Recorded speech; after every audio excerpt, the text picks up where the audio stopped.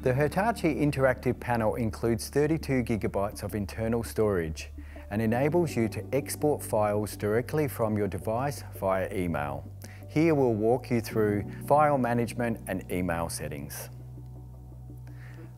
All locally stored files and files saved on a connected USB device can be easily accessed from the home screen Files shortcut.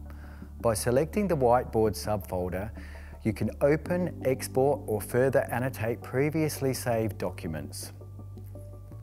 Sending documents via email is as easy as selecting Send from the Drawing app selecting your own preset email from the record and modifying the recipient's details as well as the subject line.